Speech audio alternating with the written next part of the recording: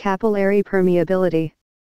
The property of blood capillary endothelium that allows for the selective exchange of substances between the blood and surrounding tissues and through membranous barriers such as the blood-air barrier, blood-aqueous barrier, blood-brain barrier, blood-nerve barrier, blood-retinal barrier, and blood-testis barrier.